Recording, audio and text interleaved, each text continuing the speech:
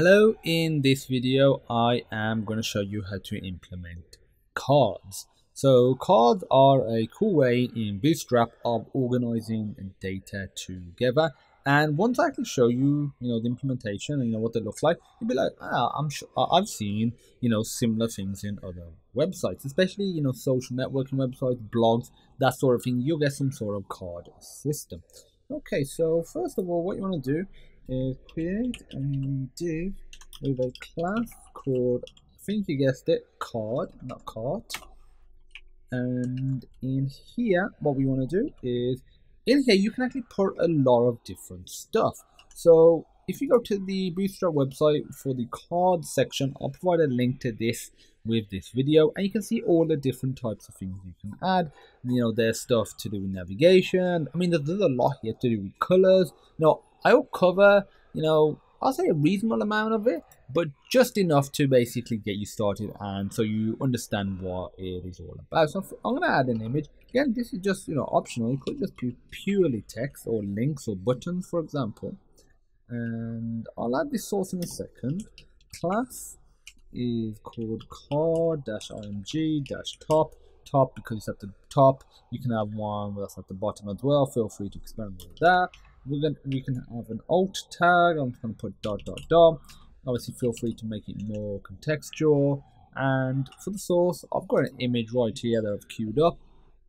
Cool picture of batman. Again you can use whatever you want. Okay so let's now, next, we're going to create the actual card body. So if I put div class equals card dash body, and I'm going to put h5, and I'm going to put title. Class. Equals card dash title.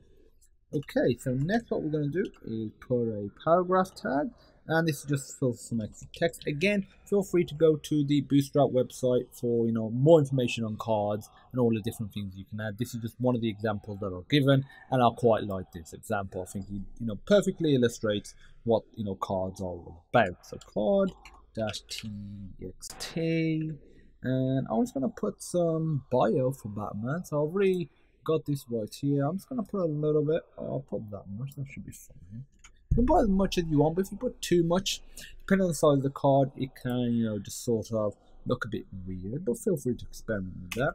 And I want to add one more thing, and I'll add basically a button. So feel free to check out my video on buttons, button groups, that sort of stuff to you know understand more about the classes and the themes they can use like BTN primary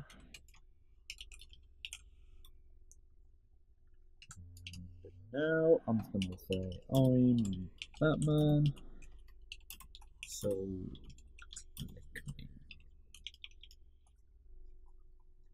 Okay, so save that. Go back, refresh, and there we go. We got our card.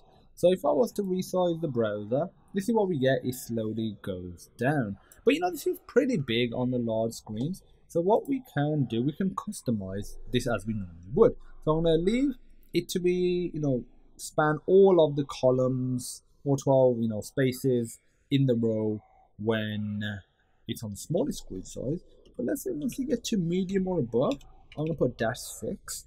And when it goes to large or above, I'm gonna put LG dash three. So those are the breakpoints I'm gonna be using. Feel free to experiment. So it's at you know three at the moment. So if I add three more, they'll fit on the same line. I'll show you that in a second.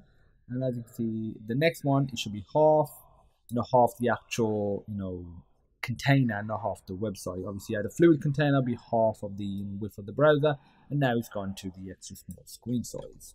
So let me actually duplicate this.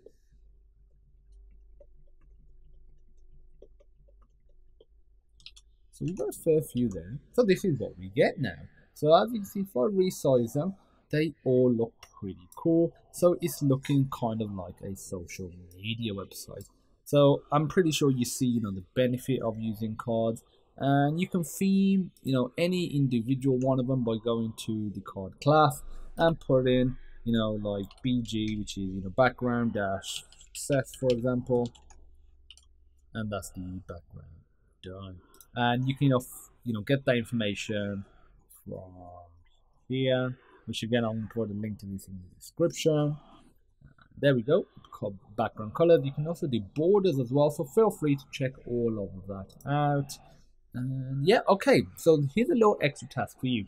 I want you to figure out how to remove or actually add a gap here. So when the cards are you know on top of each other you want a little slight gap. It doesn't look good if they're connected you know aesthetically speaking so that's it. Any questions? Feel free to pop me a message and as usual I look forward to seeing you in the next video